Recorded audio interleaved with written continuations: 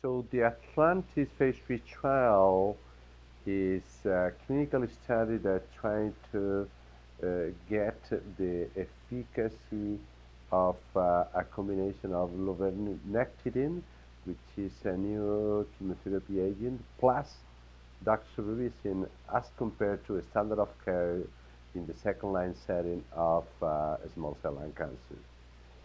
The rationale for that is on prior studies, lurbinectedin alone or lurbinectedin plus doxorubicin had shown promising results on patients already treated with small cell lung cancer.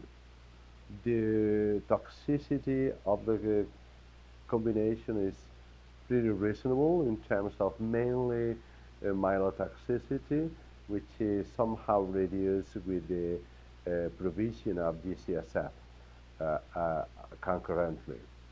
So in this study, phase 3 design, the main objective is PFS, and some 600 patients would be recruited.